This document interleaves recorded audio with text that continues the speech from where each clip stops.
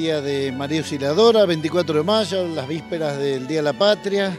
Eh, cerramos una, una, etapa de trabajo muy importante, de muchos años, pero que ahora ha tenido una culminación donde bueno, le dimos la, el destape, la iglesia que necesitamos verla. Así que bueno, un día de fiesta y de alegría que vamos a bendecir con las autoridades y con el pueblo que quiera participar.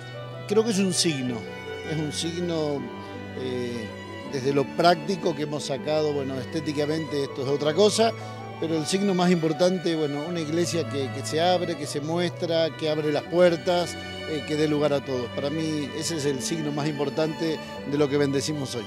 Verdad que la Iglesia Catedral es un patrimonio histórico, cultural eh, y para la ciudad comunidad de San Luis también porque aquí ha, sido testigo ¿no? de la vida social, política, cultural y poder poner en valor lo que es el atrio de la iglesia tiene mucha significación para la sociedad entera y no, solamente para la comunidad católica. El aporte es del gobierno de la provincia, el aporte económico y, lo que es el trabajo, la, memoria descriptiva de la puesta en valor se trabajó junto con la comisión del obispado. En consenso se fueron realizando cada una de, las obras que hoy vamos a, ver.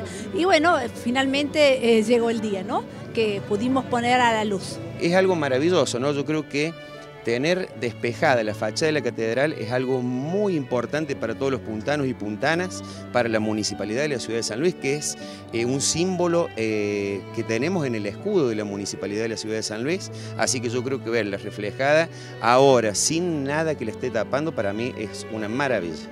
Muchas felicitaciones a todos los que trabajaron. Y el episcopado había dicho en la pandemia que había que salir juntos y mejores.